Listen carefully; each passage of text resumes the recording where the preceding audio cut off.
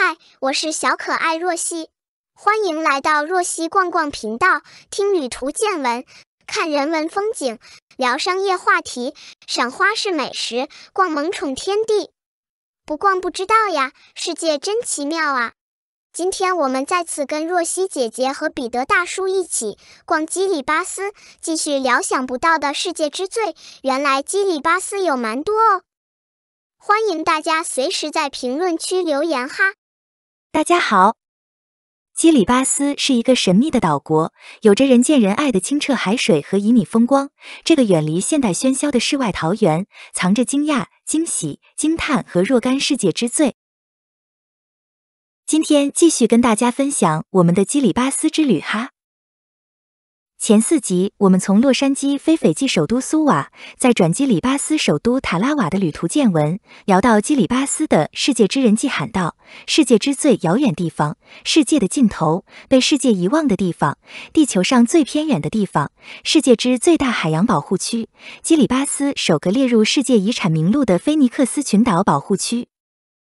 还有，基里巴斯是世界第一个拥有太阳的国家，也是世界最贫穷、最不发达国家之一。基里巴斯被预言是可能消失的国家，沉没海洋将悲剧，正高度关注气候，寻求国际援助。再有，基里巴斯流通澳元，本地发行量极小的硬币。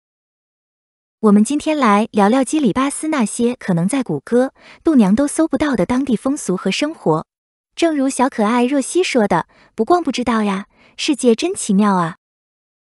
基里巴斯有着丰富的海洋旅游资源，境内的加罗林群岛是世界上最原始的热带岛屿之一，也是世界上最天然的环礁之一。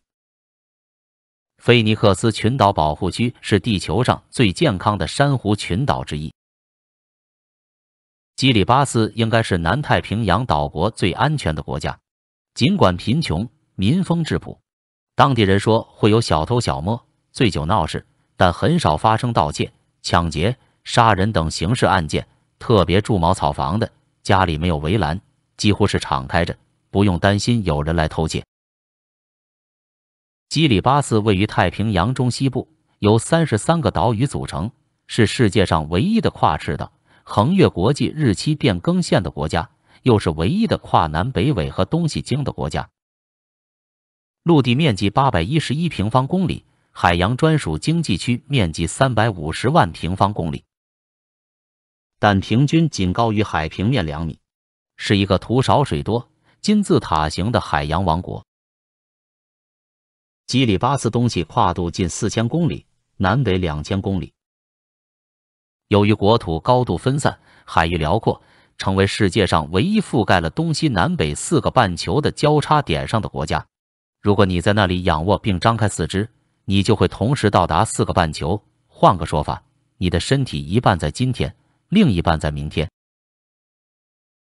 由于在国土和水域中穿越了国际日期变更线，不仅使基里巴斯东西之间有三到四小时的时差，而且成了世界上唯一在一国之中使用两个日期的国家。基里巴斯人。经常是在国际日期变更线以西的塔瓦拉过的星期天，第二天到了国际日期变更线以东的圣诞岛，依然过的是星期天。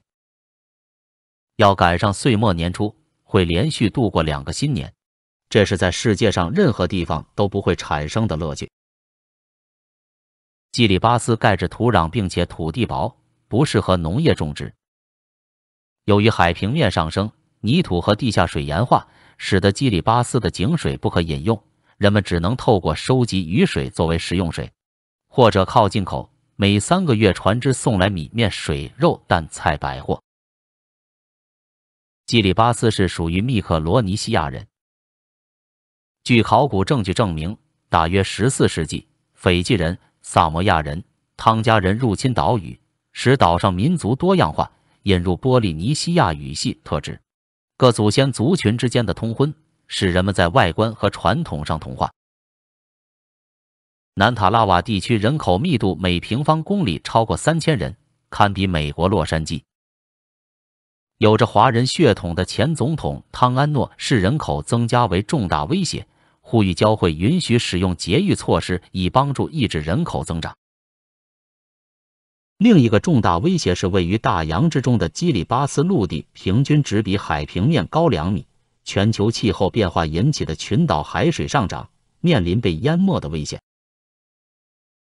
基里巴斯经济受惠于国际发展援助，欧盟、联合国开发计划署、世界卫生组织、亚洲开发银行、澳大利亚、新西兰、日本、中国和其他捐助者提供各种发展援助和技术援助。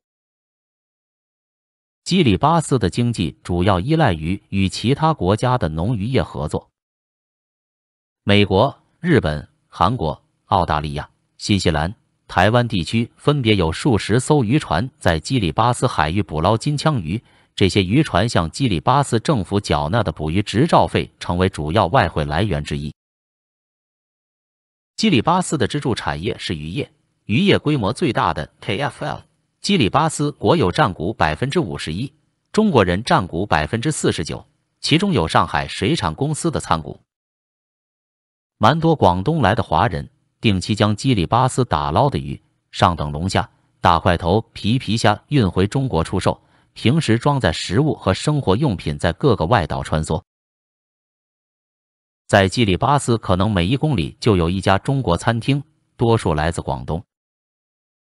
一般餐厅以快餐为主，汉堡、炒面、炒饭等，一份大约十澳币。你也可以自己带着菜去餐厅加工。最有名的餐厅应该是这家首都餐厅，据说是中国人威廉十岁随父母从广东移民到了斐济，在斐济结识了前总统的大女儿后，就来了基里巴斯开办这家首都饭店。传说威廉是前总统女婿，前总统大小女儿都是他老婆，不知真假。据说在基里巴斯，只要大老婆同意，是可以娶小老婆的。外国人要在基里巴斯投资或者买房并非易事，出于地方保护，开公司和买房都要写有基里巴斯的名字。有的外国人为此会选择和当地人结婚，以方便做生意。在基里巴斯买房实际是买土地，土地是永久性的，并且价格不贵，但盖房和装修的费用很高，大约需要三十万澳元以上。外国人不能买房。但能买房屋的无限期使用权，但对外国人来说，并不容易接受这种房屋和土地不属于自己的方式。外来人租公寓也是一种选择，租用自来水、独立卫生间、浴室、空调、冰箱、沙发、床都配备齐全的公寓，一个月六百到两千澳币不等，电费需另算，大约一点二澳元一度电。当地也有现成的独栋房子。那是政府建的毛坯房，分给当地政府官员居住。基里巴斯庞大的家族人口，很多一栋房子都居住着十几口人，以地为席，过着家族式的集体生活。在基里巴斯，超过百分之五十以上的人都为政府工作，其余要么是渔民，要么是无业游民。一家中或许只有一个人工作。而这一个人就要养一大家子的人。基里巴斯确实像是生活在水深火热的国家，没有种植经济，食物十分匮乏，慢节奏的生活让基里巴斯人十分慵懒，没有多少时间观念，迟到和爽约稀松平常，不喜欢工作。或许这也是一种躺平、听天由命罢了。基里巴斯人的幸福感体现在歌舞。习惯用椰子叶编做成头花和裙摆，打扮得漂漂亮亮，自带音响，齐声唱着歌，跳着舞，貌似个个都怀揣着十六岁少女的心。连老人都打扮得 bling bling 的载歌载舞，有些老人还会老顽童般耍宝似的尽情跳。有人不难感受到他们的活力和幸福感，也或许这也是一种享受当下，相信明天的太阳仍然会升起。基里巴斯这个神秘的岛国呀，太美了，却有那么多的惊讶呀！若曦逛逛频道已经分享了五期基里巴斯系列视频，欢迎朋友们挑喜欢的看哈。喜欢若曦逛逛频道的小伙伴，别忘了做个订阅并打开小铃铛哈！订阅、点赞、评论、转发会让我更加努力的。谢谢观看，下期见啦。